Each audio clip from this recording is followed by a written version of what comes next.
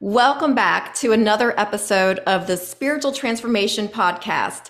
I'm your host, Mary Beth, and today I have a special guest, Shea Fairbanks. How are you doing today, Shea? I'm doing well, thanks. How are you? Great. Thank you so much for being on the show.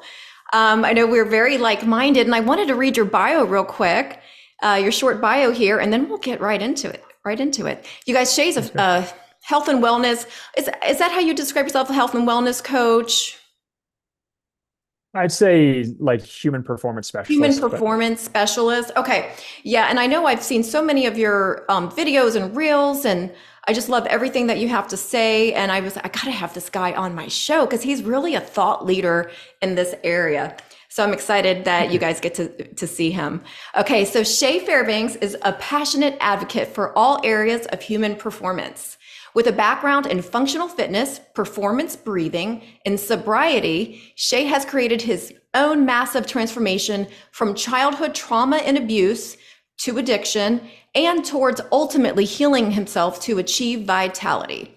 Shea has created a roadmap out of hell that he leads his clients to achieve optimal human performance and unlock their highest potential. He has firsthand experience with addiction and sobriety, with poor performance and peak performance. Shea is focused on helping others become 1% better every day in their lives and creating the life of their dreams.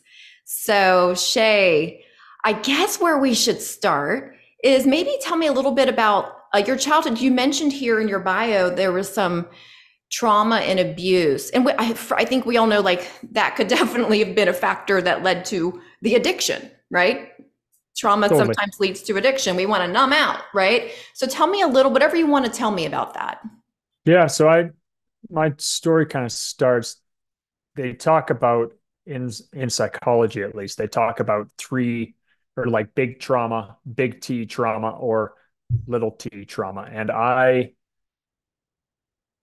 I had three big T trauma moments all before the age of 16, which statistically would put me in a category to develop um, addictions or be in be in jail or crime like get into a life of crime and stuff like that now i didn't get into the crime side of things but i mm. definitely it led me into uh, using alcohol and other substances when I was younger as a uh, as an escape method to not have to endure the things to relive and experience the events that I did endure. So when I was 3 and 4 in that age range I was sexually abused by a bus driver uh, multiple times. It wasn't just the once. And uh,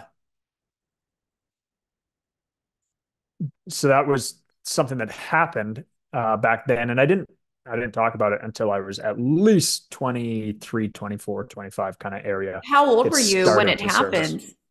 Three and four. Three and four. Okay. And so I don't have the, I don't have like the sharpest memory of it. I do have a memory of it occurring. Um, but more so from, and this is something I learned even this past year. I was in a retreat and the channel channeler that I was chatting to um, in our one-on-one session said that my soul in those experiences with the abuse, when that happened, my soul left my body. And mm. the abuse happened to my physical body, but not to my soul. So it was not imprinted on my soul.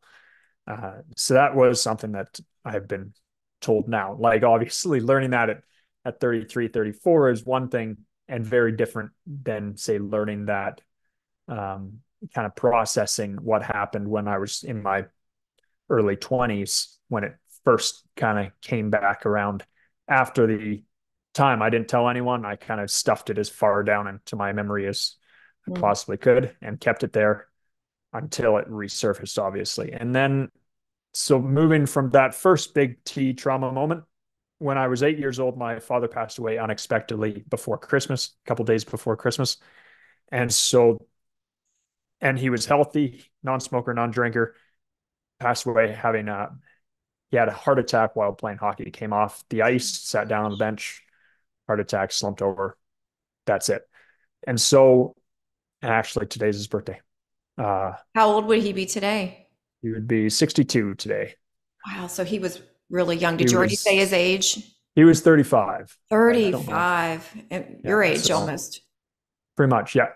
Next this year, I will turn 35. So, um, so that was a shock, obviously, another big trauma moment. Yeah, And big T. that was another moment that that's the one prob that I've probably processed the most because it I think it impacts me the most um, within a day to day. Now I don't think about him every single day, but obviously there are times like on today or or the anniversary day of his passing that I think about him more. Um, but I don't look at I don't look at his death as like this massive loss. I guess, I mean, it is, but it isn't at the same time. It is also a great reminder to live every day to the fullest. Yeah. And that's kind of the way that he lived life. So if I take the biggest lesson I can from him is to go out and live every day to the fullest and live your dreams, live out your dreams. And uh and that kind of mentality of living your life to the fullest is kind of definitely what I've done in my coaching world business and kind of where I'm at now, living living that optimal human performance. And then so to fast forward from eight, my mom remarried to uh, another man few years later, and that first stepfather uh, would go on to physically, verbally, and psychologically abuse us, uh, myself, and my younger brother in particular. Um, as we were the two middle children and definitely looked on as looked at from I, I believe his perspective of these are two people I can you know exert some control and some Mm. Some dominance over. And so there was that aspect of it. I you know he there was moments where his arguments with my mother would get pretty bad. And and it was usually in those moments that myself my younger brother would step in and and try and provoke him to turn his attention elsewhere. Now he wasn't a drinker really like he drank a little bit but he wasn't a big drinker. So it was literally coming from like a sober rage place. It wasn't it wasn't uh taking a taking a punch or something from a drunk. It was taking a punch from someone that knows what he's doing s- and sober. So that happened kind of all those three events happened all before I was 16 and and then around I mean I I started doing the grief process counseling stuff with psychologists and whatnot counselors from uh, my father's passing pretty much the next year like from age 9 onwards and and so I've been doing that and I still work on all three of these things. It'll be something I work on probably for the rest of my life. Right. But Right. having all three of those things happen before 16, I definitely used uh, drugs and alcohol, but it kind of always started with alcohol. Uh, I started drinking when I was around 12, 12, Mhm. 13, and I drank until I was, I quit when I was 31. So it was in that period where I drank the most. Obviously, maybe not all through the high school years, but definitely as soon as I turned, you know, as soon as I graduated high school, I was going out five days a week, six days a week, and that Yeah. was that was what I did. I I did partake in in some other extracurricular substances at Mhm. uh, that time, cocaine mainly, but I'd stopped using all drugs in 2013 and it was just alcohol that was kind of like the main vice for myself. Just So I- alcohol. just alcohol, you the know, one that took me down the most. It's the one that I find that, and I post about it today actually, is is Saw that. Good one. is all about addiction and and why why quit if you're not addicted, and it's because if I had realized what I was doing back then when I wasn't an an active addiction, Mhm. uh, I would have been able to, you know, that's the only regret I have about getting sober is that I didn't do it sooner. Exactly. And how long have you been sober then? So since three over three years. Yeah. So I'm at I'm at four and a half years, and but I'm a lot I'm a lot older than you. Um, so you've you definitely nipped it in the bud sooner than I did. So congratulations on that. And yeah, I definitely regret not doing it sooner. But however, we could always look at it like everything worked out the way it was supposed to. And ironically, I didn't think I had a problem. I was already a life coach because everyone I compared myself to drank more than me. And how convenient. How convenient. Yeah. yeah. In society, it's so acceptable. And um, I, I just really realized when I was studying, uh, I was going to add a niche. You know, I've got like all so many life coaching certifications at this point, and I was like, I'm going to add on addiction recovery, and I just was kind of resonating with me a little too much. It was a little too familiar with me. Like I could relate to the addiction aspect of it. And that's honestly like learning about addiction recovery was when I realized, holy moly, I'm one of them. I'm I'm an addict mm. and then also a food addict. And you know, sugar was like almost as hard for me to quit as alcohol, honestly. Like Ooh, that's tough. It. That's tough one because yeah and then it's funny because we crave what we eat like so so and we crave like and same i think the same with alcohol you know you crave it mm-hmm. more when you know so you it just is a vicious cycle so totally.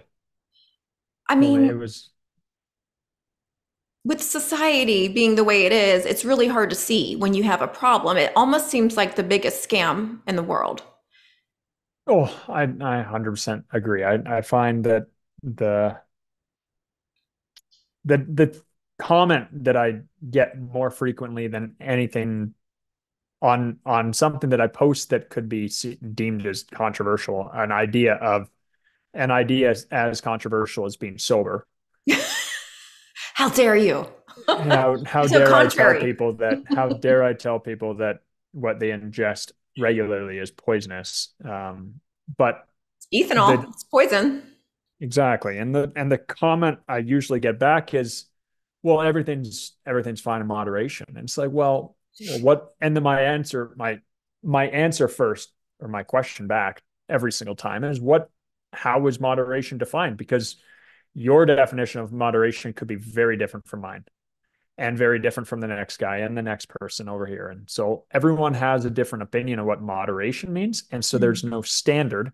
And therefore, moderation to someone might mean having one beer once a month and moderation to someone else might be having four beers every single day that's moderate to them even though it's not moderate so it's it's really challenging to find a definition to what moderation is and so the easiest way to kind of unlock your the superpower that sobriety really is is just to abstain from it to literally just not drink it and it's easier said than done obviously because there are a lot of things that it's go everywhere. into that it's it's marketed towards us that if you don't drink you're uncool or you're boring yeah. or you know and you want to go on a date well if you want to go on a date you have to go out for drinks like you can't go out for coffee or you can't go for a workout or a hike or anything that doesn't revolve around drinking. Or if you're going to go for a hike, you may as well bring beers so that you can sit at the top of the mountain that you just spent six hours hiking up.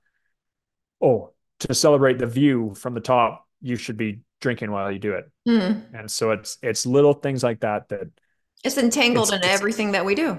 It's everywhere. And so it's so challenging to eliminate alcohol from our lives.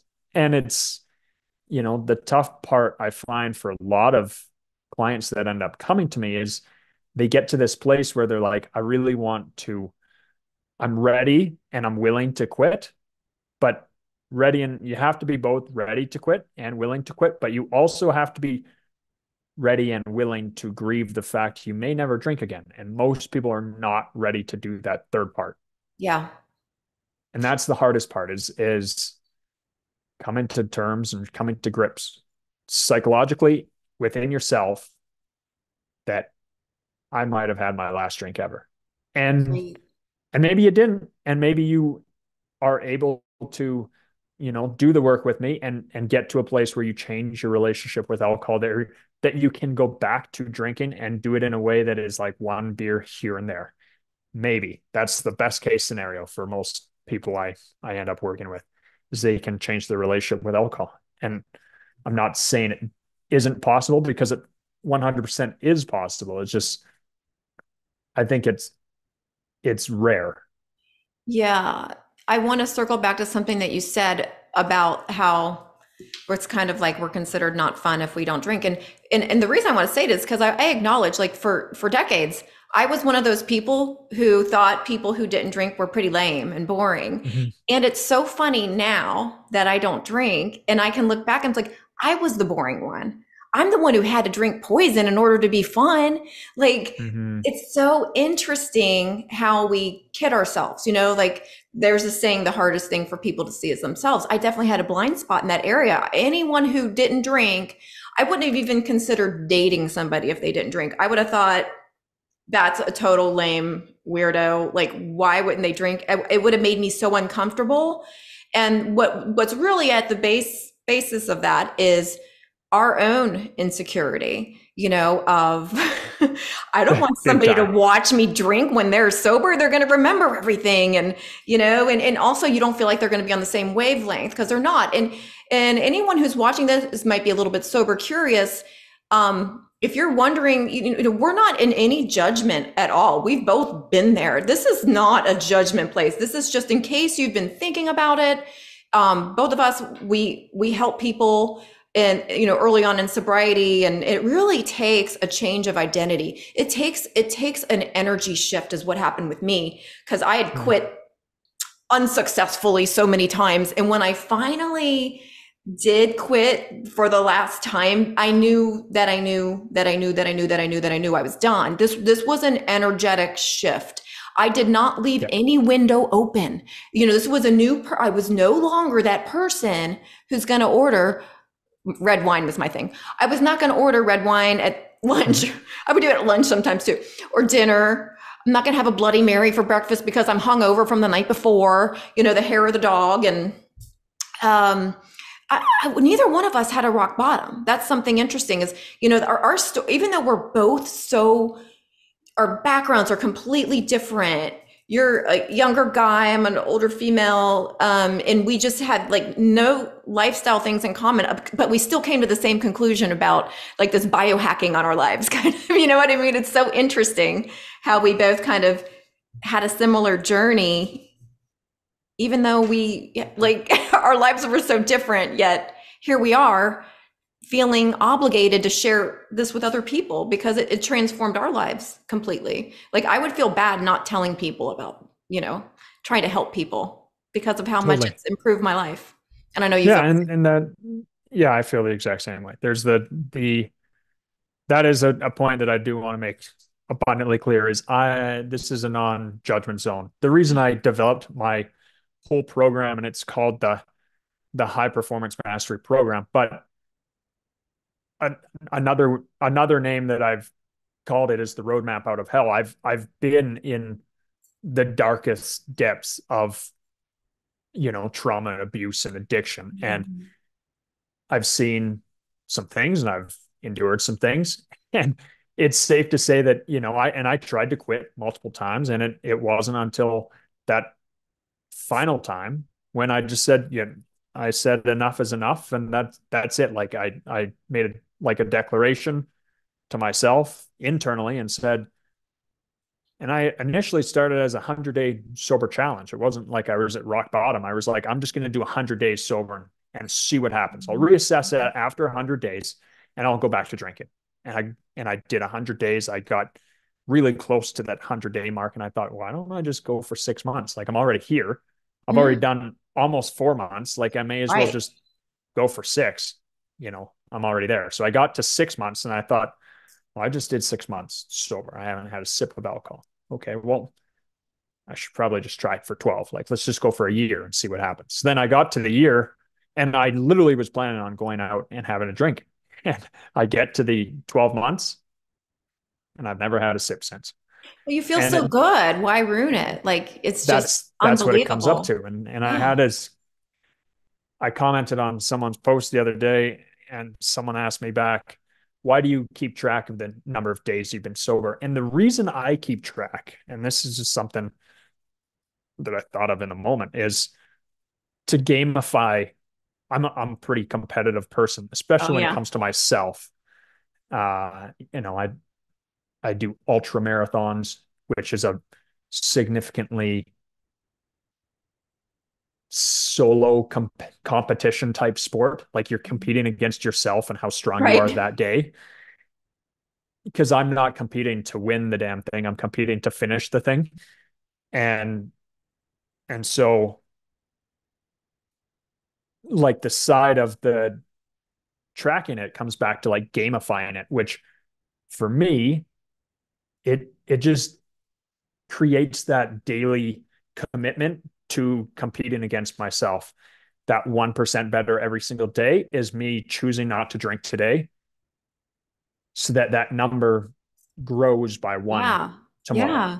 And so I can keep that streak alive. And there's, so that's one side of it. And then I just don't, I don't see myself as a, an addict. I don't call myself an alcoholic or an addict. I don't, I, I don't see myself as an, a non-drinker or I'm just like I use the word like I'm just sober. I just like I'm a non-drinker. And alcohol has no real, you know, room in my we, life. We beat the addiction, and I'm I'm I'm not saying to anyone who AA if AA is helping you, you should freaking keep going. But for totally. me, AA was had the opposite effect.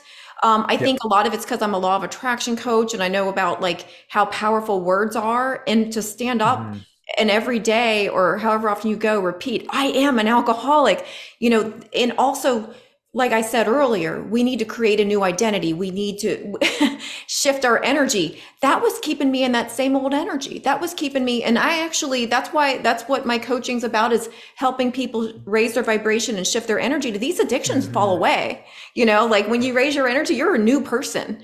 Your, your vibrational set point is so high. And, you know, and that's kind of what, what you do too. You probably just use different terminology than, than I use, but we're doing the same thing is helping people feel so good that they don't want to go back to that old identity anymore. Pretty much. It's the same same stuff. I I believe in law of attraction, quantum physics, all of that stuff as well. Yeah, more so physics, than say more so than say organized religion and nothing mm-hmm. nothing against organized religion i've again non-judgment this is a non-judgment zone i yes. have been baptized i have been to church i sometimes still go to church but it I I myself do not see Jesus Christ as like my Lord and Savior type thing. I I meditate and I think about the quantum and and law of attraction and the universe as a whole and God, God mm-hmm. energy, whatever that is, whatever terminology you want to use. So, but I I also found that AA has a certain it carries a certain frequency and a certain energy and just for me. That's how I perceive it. And it's no judgment. If, if it's working, go. Continue to go. I think it is a fantastic resource and it is a fantastic tool to help a lot of people. Yeah. I I do whatever myself, works. Do whatever works for, for I you. myself don't love the words alcoholic and I don't love the word relapse. Why put a label use, on things? I don't yeah. I use non-drinker or no room in my life for alcohol. That's kind of how I word it. Yeah because there's just no room in my life for alcohol. And instead of calling something a relapse, I don't use that word with clients. I use data point because it, that's ex- essentially what it is. It's, it's a data point into how you were feeling in that moment that you chose to go back to the substance so that when you are faced with a similar experience and a similar feeling you're you can say you know what i've been here before and mm-hmm. this is what i chose to do last time so I'm going to choose to do something else this time. It's a data point. That's yes. all it is. And if you I take like away the negativity of relapse and put in the word data point, then you're like, it's just a point on a graph. That's all it is. I like that because you're taking that energetic spark out, that negative energetic spark out of because words are so powerful, you guys. Like we got to be careful, especially when you say I am. Fill in the blank. Anything that you fill in the blank after you say I am, be careful what you say because you're literally in creation mode when you say I am. And I mean, back to that reminds me of your organized religion. I'm also not an organized religion person. And I would like to insert that neither was Jesus. I do believe in Jesus, but Jesus was trying to tell us that we all have this connection. Jesus was teaching meditation, all the things you mentioned. Jesus was trying to show us like um about all of this stuff. And and even though it wasn't called law of attraction he certainly was showing us about things like that and healing ourselves. And he said totally. and i say this in almost every podcast because it comes up but he in the bible it says that he said everything that i do you can do too. He he didn't he wasn't into going to the temples. He was trying to show you nature. Go out in nature. God is mm-hmm. everywhere. Like and that's when i feel closest to totally God or source energy or whatever is being out in nature and and um, quieting our minds, doing breath work, which is something that you're really into as well, and something that you teach your clients is breath yeah, work. That is that is kind of the main the main tool I use to access identity shifts, physiological shifts, and any pretty much any of the human performance work I do. I I find the easiest tool to access is breathwork and using and I now in the world of breathwork, breathwork right now is super trendy. It's it's like where yoga was 30 years ago. and you know, there's this style and that style and and everyone says that this style is better than that style and that style is better than this yeah. one and and that's the thing in the breathwork space just like you know hot yoga and yin yoga and sun salutations all that stuff i don't know yoga i'm just kind of talking out of my butt but that uh that's kind of the scope of breath work right now but i i like to think of the breath work that i practice is performance based so it's mm. human performance breathing training so using proper breathing mechanics to either simulate a stress adaptation or simulate a sympathetic nervous system state response in the body. You can do so laying down on a couch where you're going to be safe, where you're going to be able to work within your like how far you want to push yourself is how far you're gonna you're gonna go into that breath work experience even if i'm guiding you you're mm-hmm. only going to go as far as you want to go and that's what i do with all my clients that that's kind of the system but so you can simulate a sympathetic response which would be a fight flight freeze. So you can you can simulate what that is going to do and create the stress adaptation on the body in a laying down setting where nothing bad's going to happen to you. And you can see what changes occur within the body and you can create an opportunity for the body to learn how to build some resilience whether it's physical, mental, or emotional resilience in that moment that you can then use and transfer those skills into a real world scenario situation type thing. Or alternatively, you can use the other. So parasympathetic would be the down regulated, calm, relaxed state. And you mm-hmm. can simulate that same response to be able to use that when a situation comes up. Say you're having a, an argument with a spouse, you can while you're in that argument, if you've practiced the breath work and had that those skills, you can say to yourself quietly in your mind, take a breath in the nose, slow exhale out through the nose while still in an argument, and you'll probably respond in a more loving approach. Like you can tap to... back into that energy because you've already been in that energy. Is that what totally. you're saying? And that's that's the work that I do a lot with clients is to simulate those stress situations, but also those down-regulated, non-stressed situations. Yeah, I'm. I've got a breath work, um, just a guided one that I send to my clients. Usually, they're on the first session. Um, if they're open to it. Not everybody is. A lot of people still think that's weird, you know, when um, or even just regular meditation is weird. So this breathwork meditation, yeah. though, it never fails. Like everybody cries because it's releasing trapped energy, you guys. Like you want to get that stuff out. And everyone thinks they don't have it. We all like, I cry. You know, I, I do this and, and then it's like I, I won't do it every day or anything, but like once a month or something. And there's always stuff to be released. Like we want to keep oh, that yeah. energy moving, keep it moving. Um, when we have this suppressed emotions and suppressed, you know, things that we haven't dealt with in general, even though we're pushing it down, it's still in our body and it does affect us physically. Would you agree?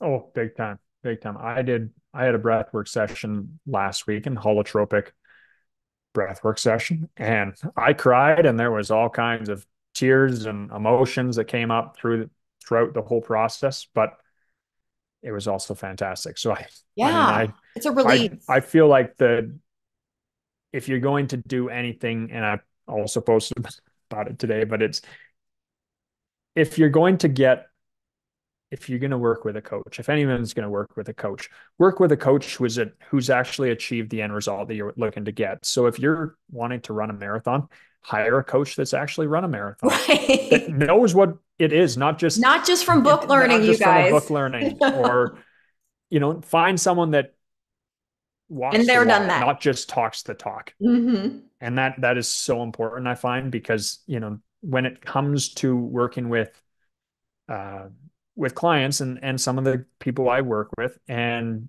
especially with the sobriety element into the human performance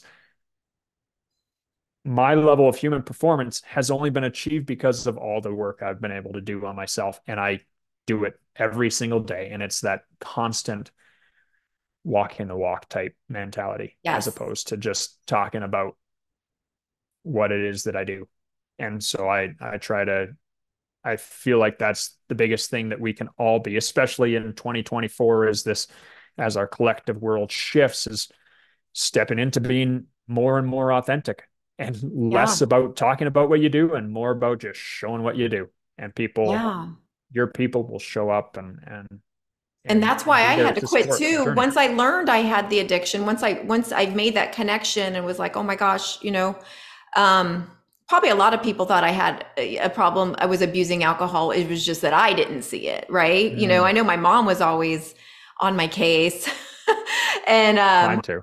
But I just thought she was like, whatever, she's just a mom, whatever. Of course she thinks that. Just, you know, she's controlling or whatever we tell people. They're you're just trying to control me. And, you know, they had a point.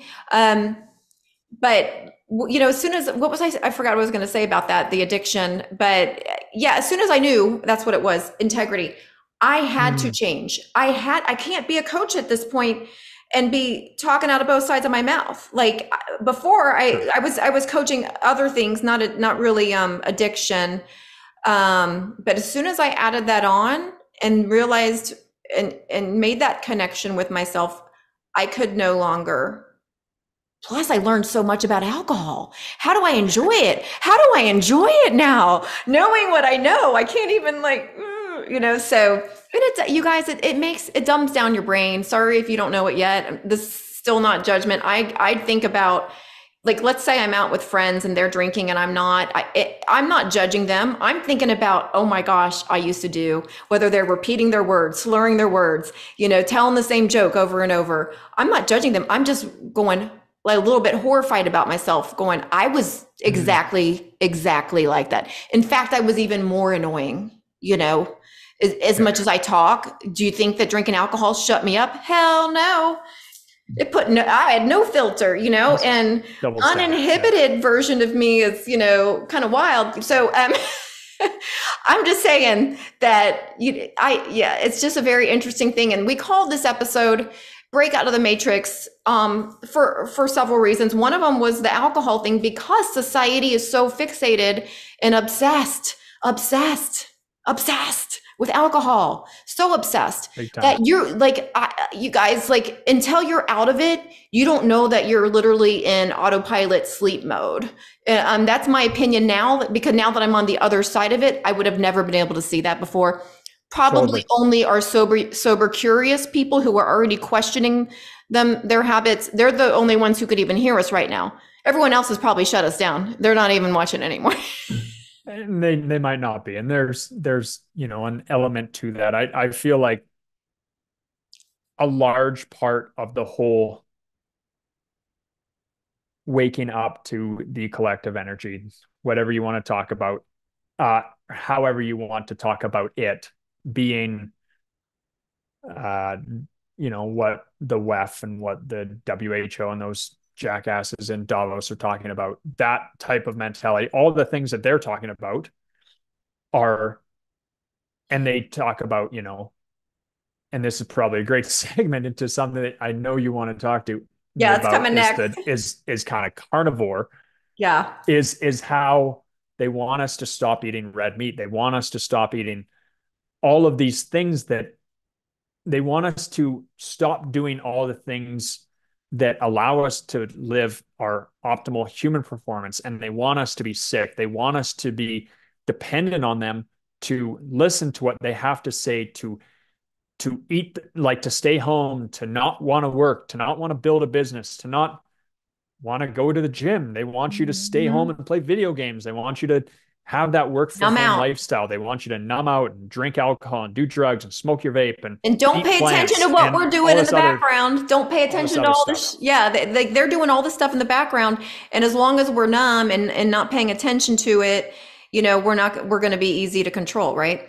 Um, exactly. so so let's let's take a step back to to this carnivore conversation. So so so first of all, I want to do a big huge disclaimer for anybody watching Shea and I are not doctors and we don't claim to be, but we do both share a very similar story. Another thing that we couldn't believe when we were first chatting about this podcast episode um, months ago, maybe. I don't remember what that was, but um, when we were first talking about it, um, we both were uh, used to suffer with autoimmune and um, for for three years i was going to doctors and and traditional stuff trying to figure it out. No one could figure stuff out.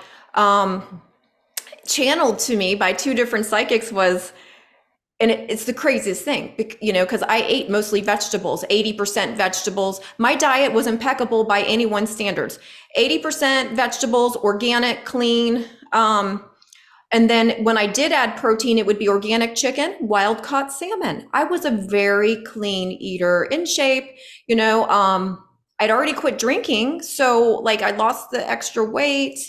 Um, from that, that was t- like 20 pounds that I lost that from drinking. By the way, and I know you lost a mm-hmm. significant amount after you quit drinking alcohol as well, mm. didn't you? I, I, or you I, probably gained muscle though. I, gained gained weight. Actually. Yeah, yeah yeah, when I when I when I drank, I didn't. You didn't work out? when out. I was a drinker, I I didn't work out. I didn't really eat, and I would just drink my calories. I was oh, actually shit. super That's skinny, not... so I was kind of the opposite. Okay. Of most okay. most people that drink eat a really crappy diet, and not to mention alcohol also creates this like puffiness and inflammation all throughout the, the body. Toxin, so most people end up getting super look most people get most like puffy and stuff. I actually was like super sunken in cheekbones. Mm. I I literally looked sick and and like sick. Do you think that's because Skinny. like malnutrition? Like you weren't because it alcohol depletes us of vitamins and minerals, and maybe it was like that look. You know, like there was I'm definitely starving that, to death. and I didn't eat. I didn't eat nearly that much. I mean, I I ate carbs and I ate vegetables and I ate meat. Mm-hmm. I've kind of always eaten a very similar diet. I have a bunch of allergies, so that kind of food allergies limits food allergies. So it kind of limits me in what I can eat to begin with. But when I was drinking, I would just like if I had a night of drinking, I just wouldn't eat when I got home. Like I would just fill up on alcohol and calories from alcohol. Empty calories. And then it and then it would be an empty stomach and I'd just wake up hungover and feel so crappy that the best way to get over the hangover was to drink more alcohol, which I'm still not putting food back in. So it was, right. I just didn't eat very much. So when I got, when I finally got sober, I started gaining weight because I was gaining muscle mass. So I was right, eating. Right. Okay. I knew you were out of shape before. That's all I yes. knew. You were, but now you're in shape. We we've got your picture of you on the thumbnail here. Everyone's going to see that. I saw that. You're doing okay. So, um, but so with mine and the the two psychics who told me I have to get rid of vegetables because of they're toxic for me i was in disbelief. I didn't i was fighting it you know and and around the same time this video pops up about carnivore diet. Mm-hmm. And one of the psychics said that video keeps popping up and i, I kept because i was like gross. Like that's how i thought. Because i was i wasn't a veg- vegetarian but i was 80% vegetables was my main sustenance And they were mm. like, plants are medicine. They're not meant to be sustenance. But so my belief, my personal belief system, that wasn't a good match for. So I wanted to fight these people. I was like, that can't be true. That can't be true. But within a week, after letting vegetables go, the only change that I made, because I was then I was eating the meat and no vegetables, mm. because I already wasn't eating carbs. I wasn't eating processed foods. I wasn't one of those people. I was already very healthy. I already mentioned all of my problems went away. Like all of these things, like even like my jaw, my jaw clenching. I had this like TMJ situation going on, muscle aches and pains. Um, I want to say, oh, my hormones have rebalanced. I put a list here so I didn't forget. Headaches gone. I was getting migraines all the time, gone. Better sleep, lost weight, lost more weight. I have more energy. And I'm like, I thought we needed carbs to have energy. And I was getting a lot of recurrent infections because it turned out like the vegetables were toxic for me and tearing up my gut. So this is the disclaimer, guys. Everybody's gut's different. You have a different microbiome than I have. So this is just we're telling this to you guys, and he's going to tell his story because a lot of vegans and vegetarians, I've already gotten a lot of hate from just comments I've made about being healed this way. Um, they don't want to hear it. No. But there's some people who might have autoimmune, and I can tell you that I know so many people now because I'm in these carnivore groups who have completely healed stuff like, well, rheumatoid arthritis is a big one that goes away. IBS is gone. SIBO goes away. SIBO is small intestine bacterial overgrowth, like leaky gut situations go away. Hashimoto's, eczema, rosacea gone, acne gone. You had that issue. I know we, we both talked about that. Um, inflammation is the underlying thing, you guys. If you're ingesting toxins, your body's inflamed. Uh, mm-hmm. lupus, Lyme disease. People have gotten rid of Lyme disease. Uh, it's just it's, and these are all things people that I've that I've met and talked to since since I went carnivore, and I'm only five months in. I'm only five months in and feel a million times better. I feel like I'm 25 years old. I'm 49, and like I didn't feel this good at 25. So it's like I literally had to hear it from spirit. It was channeled to me, and because I could have never switched my belief system into this because I was like vegetables good, beef bad, you know, and how could you kill a, I was, I, so any vegetarian is like, blah, blah, blah, I've already been there. I've already used to think that way for decades. So yeah. you can say anything you want in the comments below, but you're not going to convince people who have become healthy from being really unhealthy with autoimmune disorders. You're not going to convince us to go back. Also, that's not very nice of you because um, you want to minimize suffering, but it's okay to have human suffering. You guys go back to eating stuff that made you really sick. Like, I don't get that mentality. Why do you want me to go back to eating a way that was making me very sick? You know, yeah. like you don't care about humans, only cows. Okay. I don't think they care about humans. I don't think they care about cows either, but I I do care know about being right. talking about I, I, I, know if we're talking about the global elites, they are definitely they will still be eating red meat because yeah. they know that it is healthy and they don't want to uh, be sick themselves. Um, but to like to touch on the on the carnivore stuff and kind of how I made that switch. Now it's been yeah. it's been just over three months for me uh, as as full blown carnivore before that, I was kind of doing that more like Paul Saladino's animal based. So, I mean, I don't eat, you know, yeah, I've only been strict for three meat, months, but I two I, months of it I was still being for, bad and eating some dairy and things, and so so I think I'm actually three months strict, if you want to put it that way, in five months trying. Yeah. Sorry to interrupt you. That, yeah, no, no, that's fine. It's that's probably how I would word my myself. It's it's three months strict. Before that, I kind of did one and a half years of an animal based, no mm. vegetables, but red meat primarily, uh, a little bit of other meat sources here and there. Chicken, I don't particularly enjoy. It doesn't really make me feel very good. Same. Pork, pork, I don't eat pork at all. Same. It really upsets my stomach. So I literally and and I'm not a big fan of fish or the flavor of fish, and so Same. I eat so I eat red meat and me particularly ruminant meat. So uh, beef, bison, deer, and elk. Uh, for the most part, I am a hunter. I have friends that hunt as well, and so I have a whole bunch of elk meat in my currently like ethically hunted yeah. sourced uh elk meat in my Not freezer. for fun for mainly, you actually mainly, eat it. it's actually mainly elk in here. So that that's like a really a, a really big pro for me is having that and also access because of my friends to fantastic grass-fed natural meat. So that's a big thing. But I so I, I kind of made the shift from the animal-based, which I was still eating fruit and stuff, uh, fruit, honey, maple syrup, salt, uh, red meat, and primarily red meat. Mhm. And that was most of my diet. There was no processed foods in that, but I ate that way thinking that I needed to have the fruit and stuff. And it wasn't until I started following guys like Dr. Anthony Chaffee Mm. uh, and Dr. Sean O'Mara and, Sean and some Baker. and, and Shawn Baker and, and all these other doctors that are carnivore that are you know Ken Berry, he's a good one. Ken Berry as well. Yes. So those are kind of the main four that I was following, and they're all different ages, but kind of all between 70 and and 40 Mhm. and living in terms of optimal human performance. Yes. And, and that's where I was like, And they weren't maybe, maybe this is something. Mhm. And that was a big thing is maybe, you know, and they weren't, they weren't prior. Um, even, even someone like Dave Asprey, I'm not the biggest Dave Asprey fan. However, I know he was vegan, but he's switched into a, a way more animal based diet. And yeah. he has talked about it openly about Oh, I heard him shooting down vegans the other day, and he's a, his, he's a uh, past a former vegan.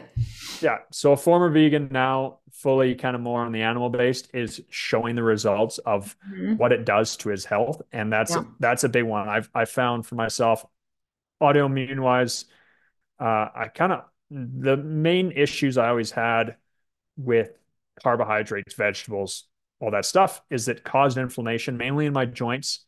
Uh, Yes. I found it really hard to recover after a workout. That was a big one for myself. My energy levels in the afternoon would always dip Yes. every single time. I would get to around now, which is kind of that two o'clock mountain time, Mhm.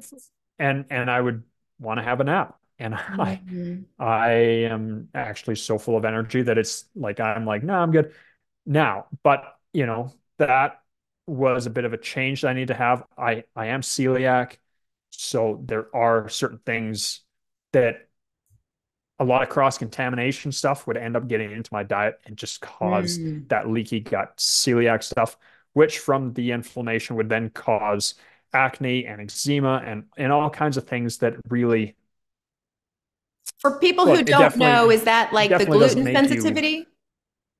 Celiac? Is that gluten sensitivity for people who don't know? Yep. so gluten it's a gluten allergy Gluten Um, allergy.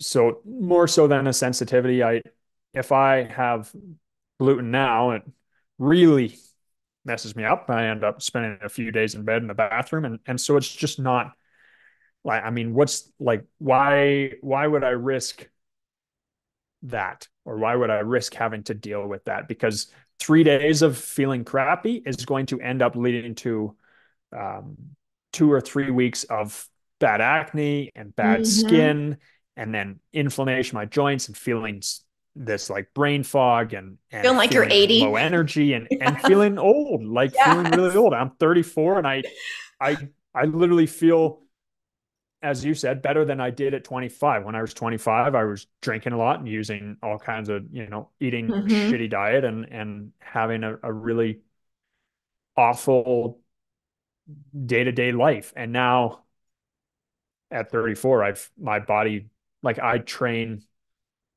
crossfit Mhm. or functional fitness but five six seven days a week and have no issues waking up and going again the next day my recovery is the Yeah. best it's ever been Yeah. i'm gaining i'm gaining more weight being carnivore than i was and and to start so when i first did the carnivore i i kind of lost a little bit and then as i got more comfortable with carnivore my weight started going up and my muscle mass started going up as well. And so I started feeling really, really good.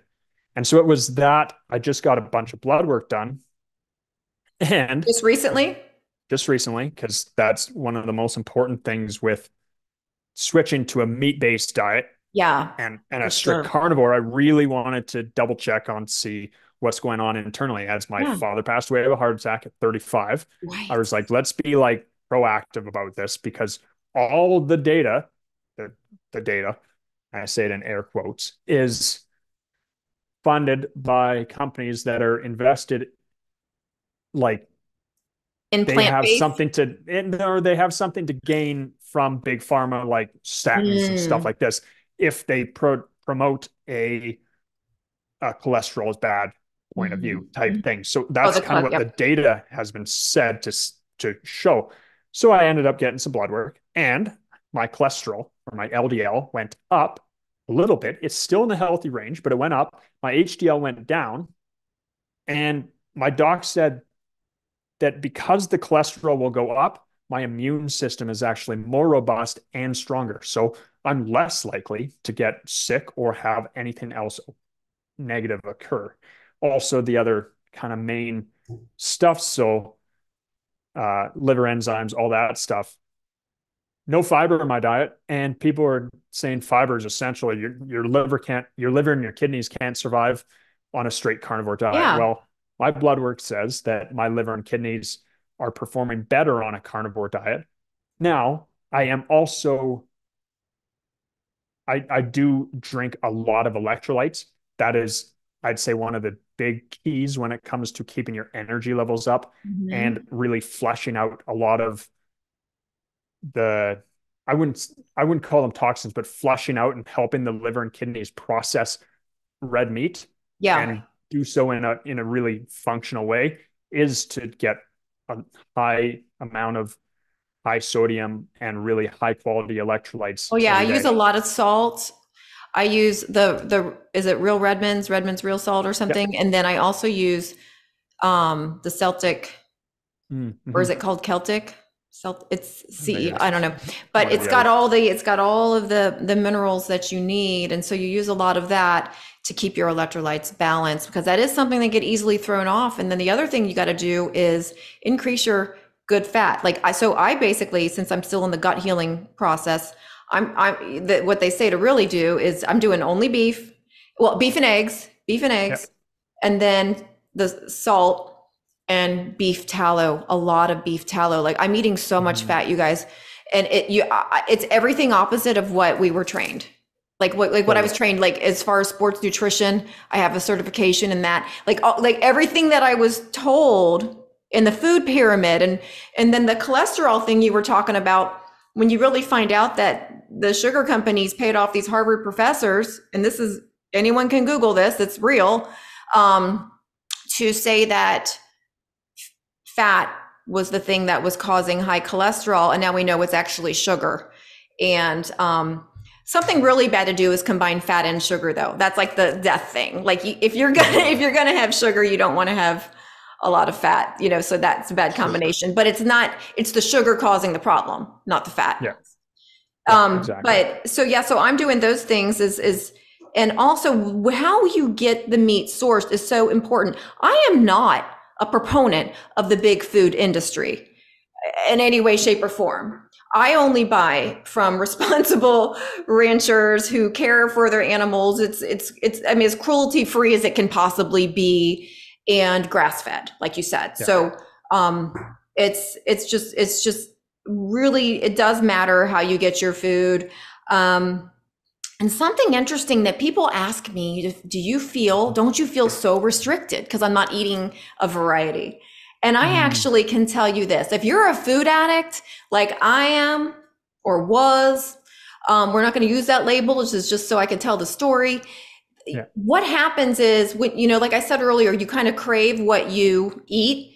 Since i cut out all of the stuff any type of sugar or carbohydrates i quit craving it. So i actually feel less restricted because i don't have cravings all day like i used to.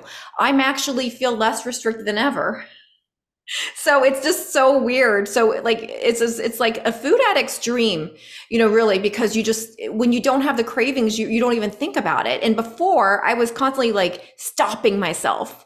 I really want this but i can't have it you know? Mhm. that situation. I wasn't i wasn't indulging. I just always wanted it. And now those feelings aren't there in my brain in my body. It's just they, they don't exist anymore because i don't the, the cravings are simply gone and then the last thing I wanted to say, so I don't forget, is that the spirit to this. I know a lot of spiritual people watch this show because it's called Spiritual Transformation Podcast with Mary Beth, and um, I want you guys to know there you- there's a, there's a a lot of people in the spiritual community would deem eating meat bad and less than spiritual.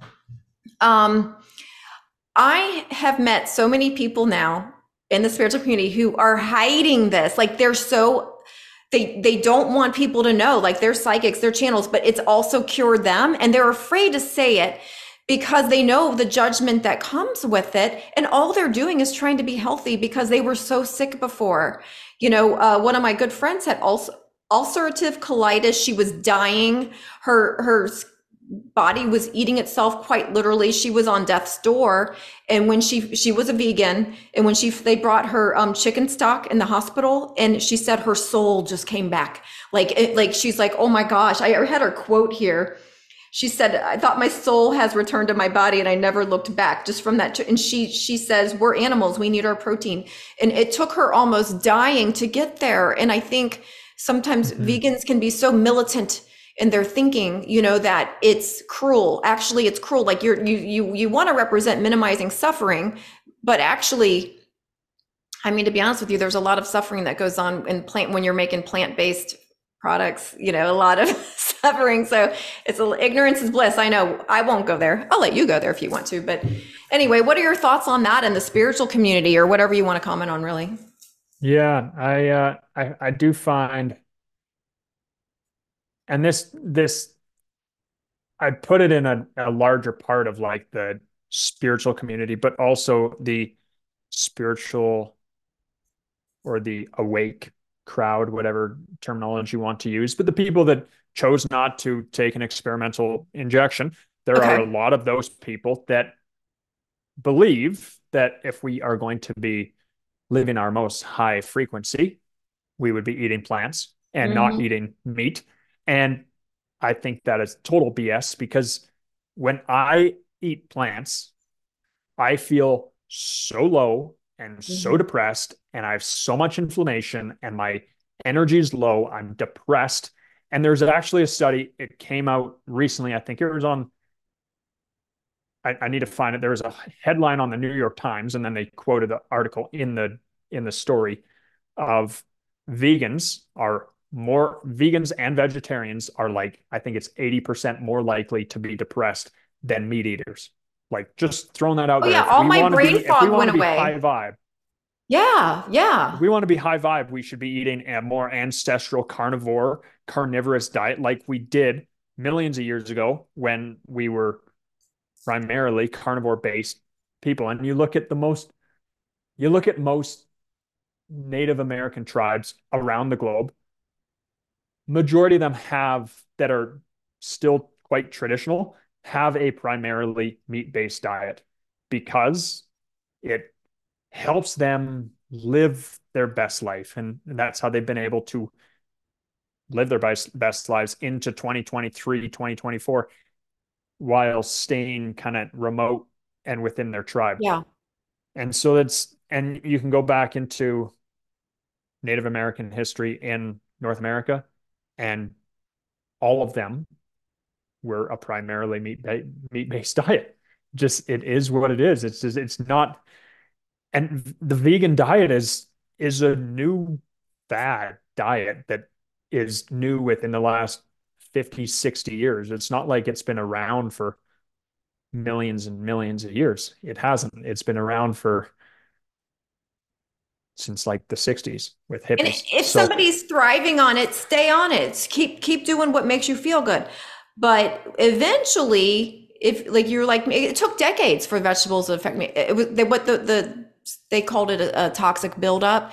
And what Mhm. we're talking about, you guys, is um lectins and oxalates. You guys can look it up. I'm going to put some videos. I think like I'll put links to Dr. Chaffee and a few other. I'll put some videos under under in, in the description box for you guys to check out if you're interested in looking into it more. But yeah, everybody should continue to do whatever what if whatever's making you thrive. But Yeah, like the people that I know who are um, vegetarian and um, vegan, mostly vegan, they get so weak. You know, they, they they they become so weak, and I Mm, think they just think this is how you feel. And it's kind of like when we quit drinking, we didn't know how good we could feel. It's kind of a similar thing. Like all my brain fog went away um, when I quit vegetables. Days after I didn't have vegetables, like I did go through a detoxing. I did. Mhm. Um, I got um, like eczema, all this de- like it was crazy. The ox, I think that's the oxalate Yeah. filled Yeah. And uh, it's, I'm, I'm not here to s- state that there's a judge, a judgment if someone is vegan. I, I think obviously our, our diet and our nutrition is so unique to every individual on planet Right. Earth Everybody's different. totally do what is best for yourself to thrive. I will say that the one thing I will say on, on, on that, so that's, you know, a non-judgment zone. However, and still no judgment, it is very challenging to make sh- to to ingest enough protein when you're on a vegan diet. It's just really challenging to find high quality protein sources that are complete proteins And not processed. and not processed and not full of harmful crap like like tofu is is made from soy and soy is one of the most sprayed plants Yes. in the world. Like if if we're talking about glyphosate and eliminating Mm. stuff that's terrible for your for your gut microbiome and creates massive inflammation in your body, glyphosate's probably the number one thing that does that. And the most widely sprayed plants on earth are soybeans, corn, and other beans or legumes, which are like the three main protein sources for vegans. So it's like well, you're so you can do that and it's like, well, I'm getting this organic soybeans, but it's like, well, how organic are are they? Because Yeah. there is organic and then there's organic that's still been sprayed. So Yeah. it's really hard to know what's what. Whereas when it comes to grass-fed, grass-finished beef, especially ruminant animal, if you're a hunter, you're getting your animals deep into the wilderness. It is 100% they're eating grass. They're eating Yeah. like native grasses on the side of a mountain. If it's deer and elk or moose, if it's bison or beef and it's grass fed and grass finished, then you know that the land has not been sprayed. It's just literally natural, natural grass, and that's all they eat their entire lifetime. They from from being raised to to when they are slaughtered and turned into beautiful cuts of meat. Right. That's kind of that evolution of it. So I just, you know, that's the one thing that, and I have some friends who are vegan and and no judgment to Yeah, me them. too. Me If too. it's if it's working for them, great. I do often challenge them to say, you know, to get to build the body you want or to live that optimal human performance that you're looking to build, because I know they are, it's really challenging to find protein sources that their bodies can handle and tolerate while while eating the amount they need to eat while also eliminating a lot of the crap that goes into them. Yeah. What about carbs? Like, you know, didn't it blow your mind? This blew my mind more than any. There's no such thing as an essential carbohydrate. What? I was trained to think that's how we get our energy. Mhm. And guess who's had zero carbs in months? Zero. And I have more energy than ever. So, you know, eh, eh, you know, I wanted to bring up this twin study. Have you seen the twin study yet? They're trying to um they had uh, like a twin, one of them goes carnivore, one of them That goes new Netflix documentary. but it's I- an eight I- week thing. It's eight weeks. And, and, and by the way, it takes six months to fully adjust to carnivore, according to my sources, my psychic sources. It takes six full months to, before your body's really adjusted. Um, eight weeks, and then like, what? Oh, well, the the twin who was a vegan lost weight. Well, no shit, Sherlock. Of course, they're going to lose weight on a vegan diet. Um, I go have ahead. a I I And watched muscle. Paul Paul Paul Saladino talk about this, and he posted about it the other day because someone obviously sent it to him. And I and just just to throw this out there, I'm not advocating on that I'm a massive Saladino fan by any means. I do think he has some some fantastic. I don't know much about him. People, a lot of people love him, a lot of people hate him. He's very polarizing in that space. But and I'm not here to say one way or the other. Go and do your own research. But if you look at the studies from that movie and from that documentary of the two twins, uh, the one that was on the vegan diet was was fed less calories. So Oh number yeah. one, they're going to lose weight. They're in a caloric deficit. So it's literally it's it's mathematically impossible for the the vegan diet twin to gain more muscle or to gain more weight than the other one. It's Yeah. just it's not possible because you're in a caloric deficit while still maintaining a normal a normal lifestyle. So you're moving your body and all that stuff. So you're and you're not putting enough calories in that you're burning. So you're burning And you're more than losing you're muscle. eating. So you're Mhm. going to lose that muscle. Your body's going to be naturally in a in autophagy. You're going it's going to be eating itself for sustenance. That's what happens when we are in a fast hmm and a fast longer than there is enough enough nutrients being put back in that can be used as building blocks to create fuel for the body. If there is no fuel left in the body, like an amino acid, it's going to go to your muscle fiber and eat itself because it needs that fuel. Yeah. And so, you know, I I, I eat haven't more calories I than haven't ever. Watch that thing. Oh, I haven't watched- either. I just, I just, I just heard about it, and I was like, I'm not going to watch that because it'll just piss me off. Because just actually, you get to the where they just say eight week study, I'm already out. I'm already like, well, that's stupid. That it's meaningless, and yeah, whatever. eight week study, there's a couple of things like in brackets of how the vegan person had a certain diet that was different from what the omnivorous uh, twin had. And so the one main thing was caloric deficit. And I saw that and I was like, well, I'm not going to read, I'm not going to watch this. Right. Call me when it's eight years, then I'll watch Yeah, that one. yeah, I'll watch it. Also, they need to be having the same amount of calories each. Correct. Uh, and and you can't. And when you look at who caloric made it, who who was like like when you look behind the people who were behind the scenes, Oh, they were all benefited. They were all vegans and and and plant based. Push, companies. pushing a narrative. It's it's the same Yeah. thing that happens with um the old the old uh experimental jab jab in the Yeah. yarn. You know, there's a lot of people that are that are interested in in in lining their pocketbooks and the great greatest way to Profit over people. see anything. You just follow the money and and who who is that who is that study you know funded by? And and same Right, thing in the alcohol industry. All the all the alcohol companies funded all these studies that say that moderate drinking is good. Why? Because it benefits them. It doesn't benefit the consumer. It benefits the company making money.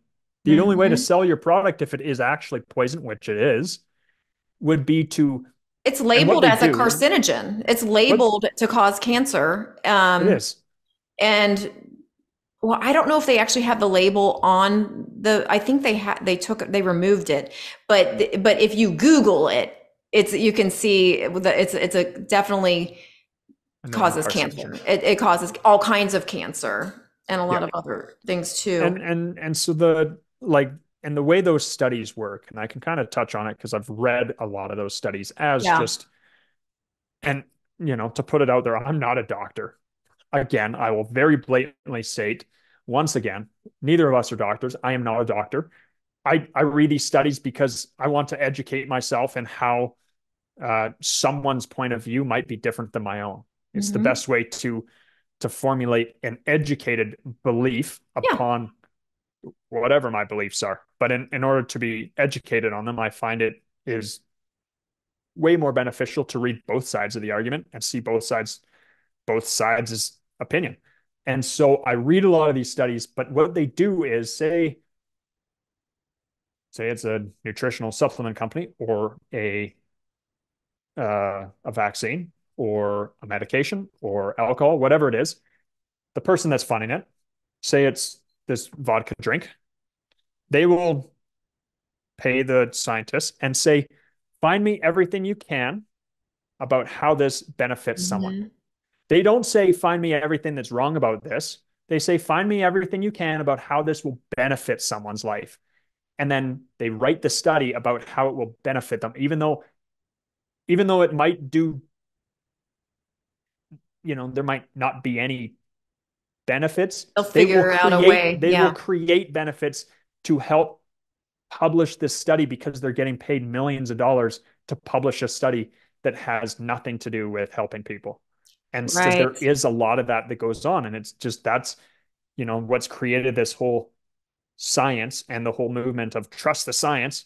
Trust the science. Well, the science is often science paid is off by yeah by people that gain to profit off of and the truth the truth gets censored and that's yeah that's a good like break out of the matrix conversation there. And dr ken berry talks about that a lot because he is a doctor. And he admits that doctors uh, traditionally they just um, they don't read the study they just read the conclusions and they don't really he says but when he really started going in and reading the actual study the conclusion didn't match the study the majority of the time.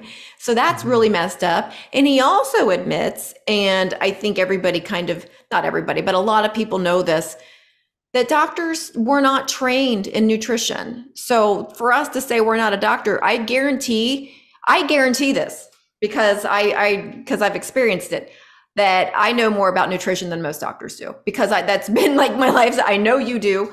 And like when my mom was dying of cancer, I mean, Shea, that's when I, I mean, I have PTSD from that shit because they were giving her all this sugar and, and the way they feed a cancer patient. I'm like, sugar feeds cancer, you know, and, and I'm sitting there teaching the nurses and talking to the doctors, you know, and my brother and I were bringing in food for her because the way they are it's it's it's it's criminal. It is criminal. Mm-hmm. and then they it's not like they're being evil. They literally didn't know. Oh well ensure that's good for her. Ensure drink you know um it's like a i'm like oh of, sugar. sugar. And seed oils yes. And it was just scary how little they knew and i mean i was kind of traumatized by that whole experience um because I'm like literally scared of hospitals at this point now after seeing what my, my mom went through and so many levels outside of that. Also, with I know you're in mm-hmm. Canada.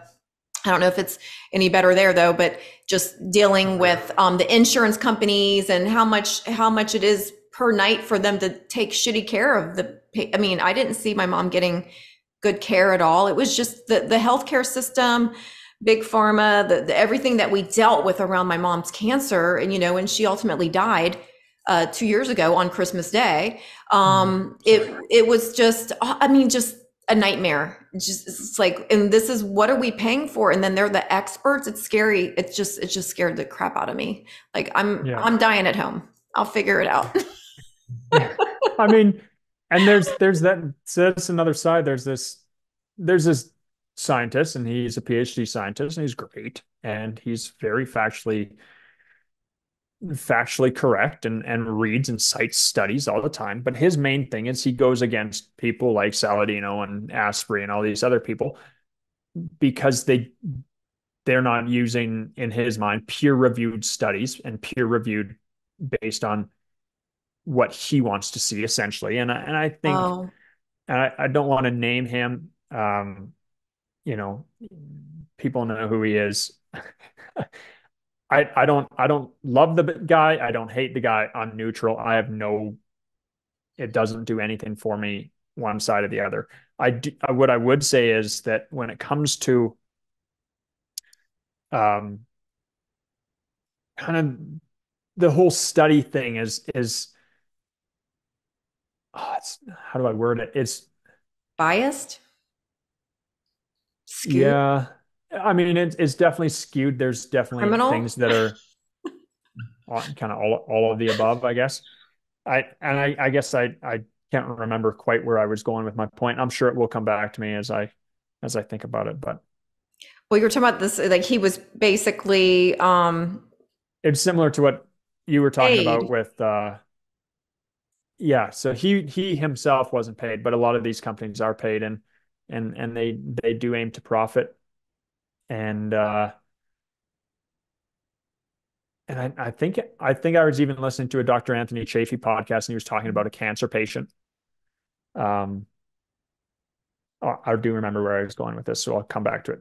Dr. Anthony Chaffee was talking about a, a cancer patient going on full carnivore and moving from stage four terminal cancer to full carnivore diet and being cancer fully in remission in like 18, 19 months and was given like four months to live those four months full carnivore and then extended it and is now terminal terminal zero cancer remission like it's out. And so the thing i wanted to go back to about doctors not it was doctors not understanding um, nutrition. nutrition and and how it all impacts the gut and more often than not this this scientist talks about how people like dr saladino and all these other doctors that he has like a hit piece on. Essentially, they're all psychologists. That's how they were trained. They're an MD psychologist mm. that's now turned functional health coach or functional health doctor, functional doctor, functional mm. medicine doctor, like mm. whatever terminology, but it's usually around functional medicine. And it, they usually come from a background of psychology. And I actually have a functional medicine doctor in mm-hmm. Costa Rica, where I used to live. And he has a background in psychology. But what he noticed is all these people and patients coming to him with mental health issues. And he thought, how about I start taking some blood work and finding out what's going on inside their body and looking at that stuff and looking at what's going on in their gut. And if I can heal their gut, maybe their mental health conditions will yes. go away.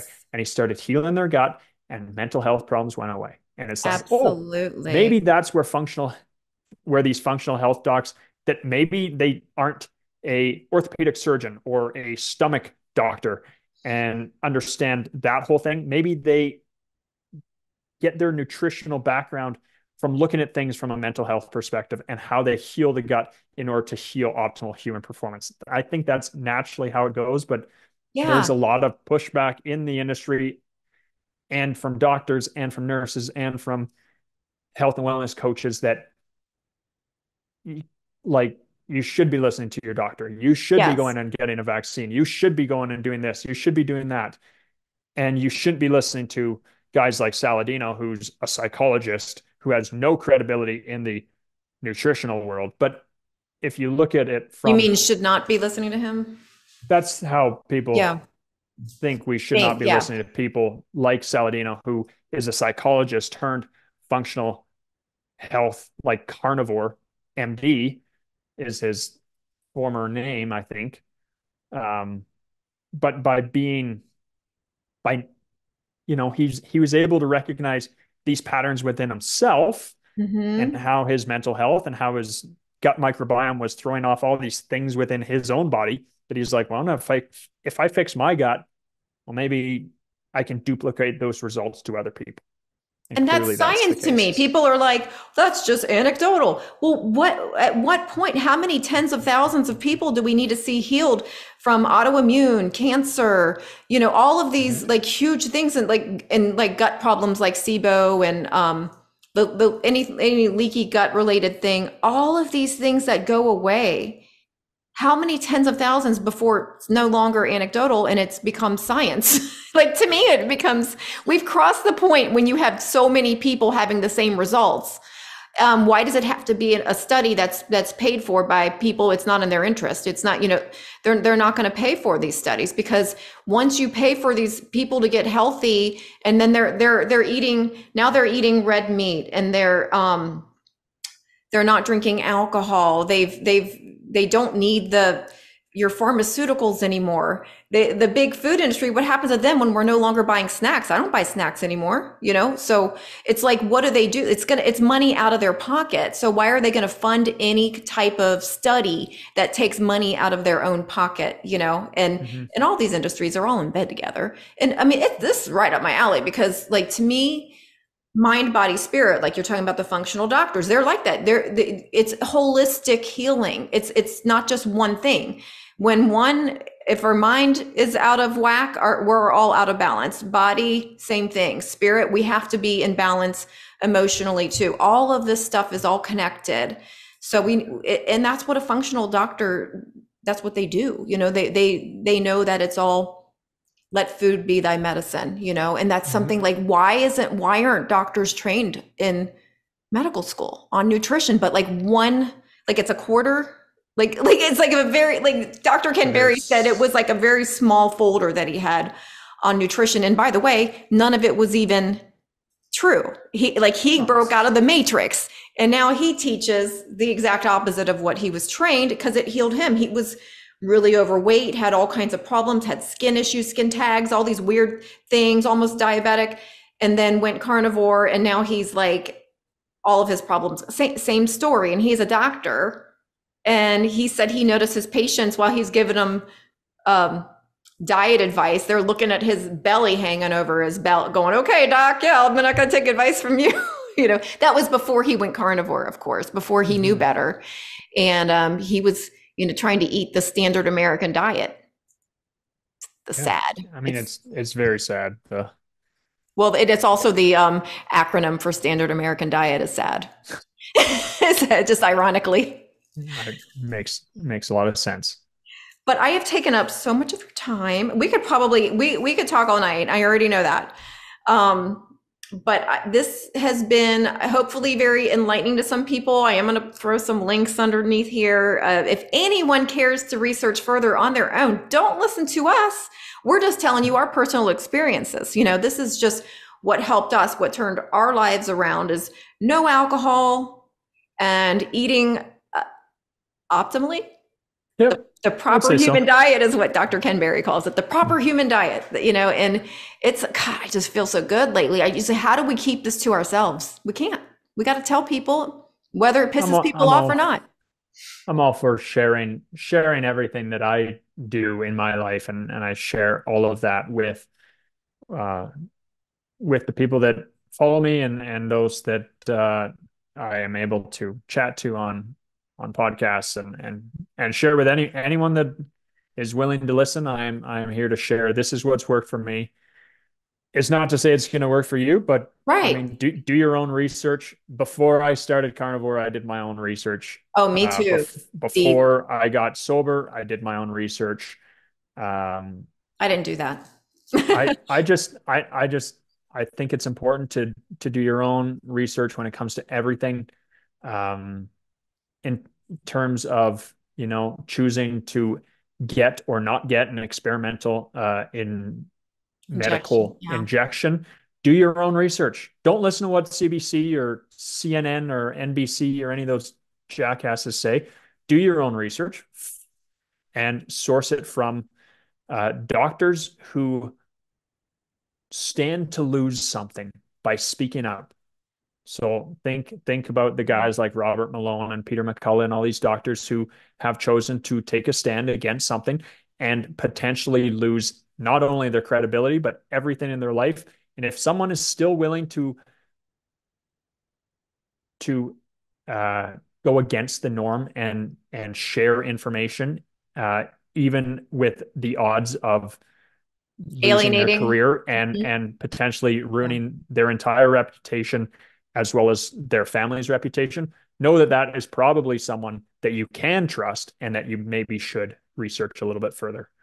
Yeah, I mean, you know, I've never really even said this on um I've lost friends over this, uh, but my mom, you know, I did have a I get prophetic dreams and I did have a, a dream that she should not get vaccinated. Um she thought I was crazy. She didn't believe it, you know, but I've had prophetic dreams my whole life and they always they're very different. They're warning dreams. They're always warning dreams and they're always very vivid and they always freaking happen. Um, so I was begging her not to get vaccinated, but she did anyway.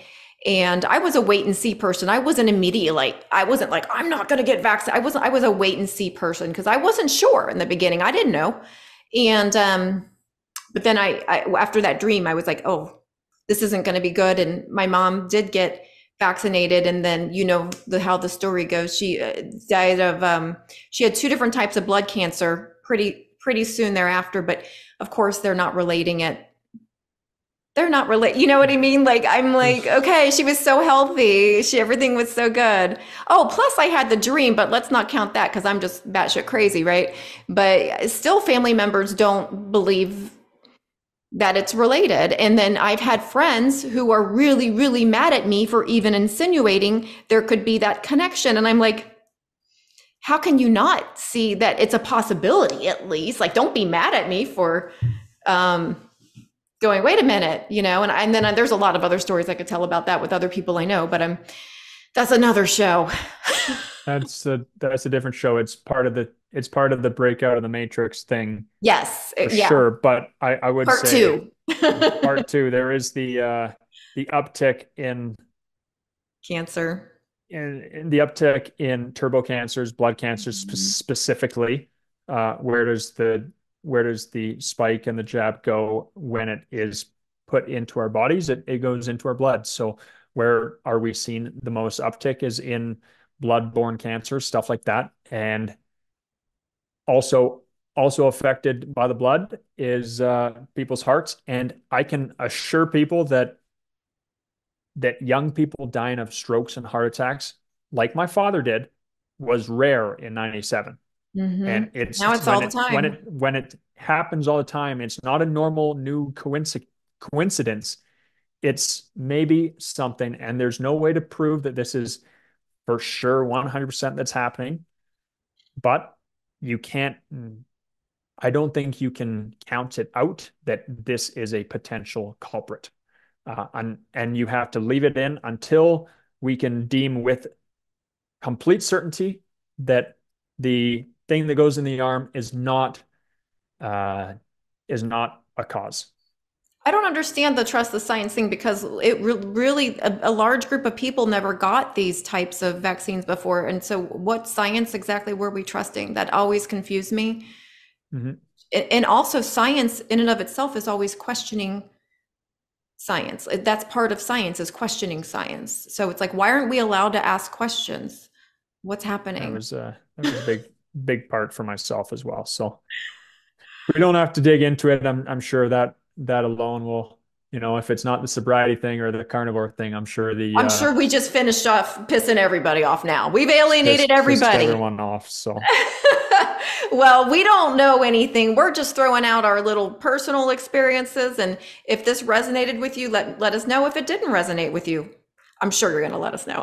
I'm sure. Please, please do let us know. Yeah, yeah, and and and like like we're saying, I don't have proof of anything. Um, but what I can tell you is, when I was at the blood cancer unit with my mom, um, I did speak up to because I wasn't going to get vaccinated to go visit her, and this was back you know two years ago, and they said, "You don't have to."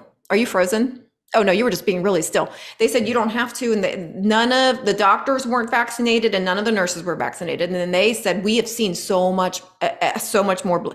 So none of them were vaccinated, and that's why I didn't have to. And my my brother and everyone else, like they didn't ask any questions like that because they were all they, they just assumed it. I don't even think they know. Like oh no, no one in this nobody was vaccinated there because they knew better. So yeah um, that was interesting because I don't I don't know how that would have gone down if I wasn't allowed to visit my mom. But luckily, everyone at the blood cancer unit knew not to get vaccinated.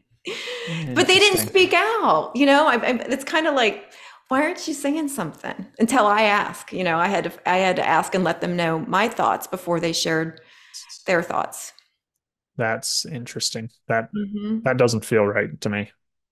Yeah, but I guess everyone's scared of losing their job, like you said earlier. Yeah. They don't speak yeah. up. And yeah. Losing your job's not the worst thing. I, I lost a lot of things over the over the course you of the did. pandemic and and uh, I would say that um, losing all the things that I lost was the best thing that has ever happened to me. So um, I love that. Yeah. It's Depends how you look at things. Optimism yeah. is a is a beautiful thing. Mindset's everything. Like I, I, posted something earlier. It's like there's a gift in everything if you're willing to look for it. And it, it was a meme that I didn't create, but that was my little caption above it. And it just reminds me perfectly of what you just said. There's a gift in everything. And sometimes that gift is grief. you yep, know? it is. And and grief can actually lead us to like look at you, like living your optimal life because your dad died so young. It you you could take that and just be sad your whole life and be in the victim role, or you could be uh, turn into the victor of your own life, turn into your own hero. Exactly. Yep. So on that note. Way. On that note, I guess we should let's say goodbye to the audience and thank you to anyone who's hung in there. We had a long conversation and we appreciate you. And any comments you have to make are welcome, even if you don't like us. we'll take it. Please, please share. Please share. And um, so I hope everybody enjoyed this and saying goodbye. Bye, everyone.